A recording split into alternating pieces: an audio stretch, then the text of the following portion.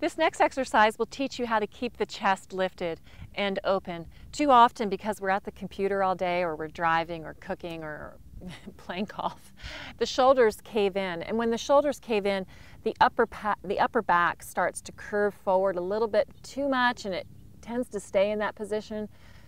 So we really need to open that up so that you have this nice open area in the shoulders. It makes the shoulders wider and it it gives you much better posture, of course, but also it's going to give you more room when you create the swing. I tell people all the time in the Pilates studio that if you're trying to do an exercise and you're here, your body just doesn't have the room to move because your joints are in the way. So we're going to open up and make some room here. So you're going to take your hand in a little L shape like this, and you're going to put the thumb on your breastbone and your finger underneath your chin.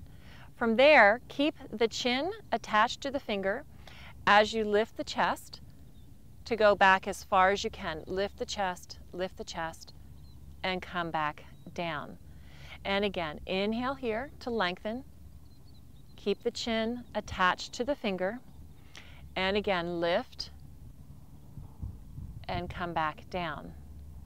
And lift and come back down. Inhale here. And exhale back. And inhale here. And exhale back. Let's do two more. Inhaling and exhaling and inhaling and come back to center. Now remember, center is straight up and down. You're probably going to want to find a mirror to find center because again, most of us live here, so we think this is center. So find a mirror, make sure you're centered, and you may feel when you're centered and in a neutral spine position, you may feel like you are lifting, even though you're exactly in neutral. I want you to try that one out for me in front of a mirror.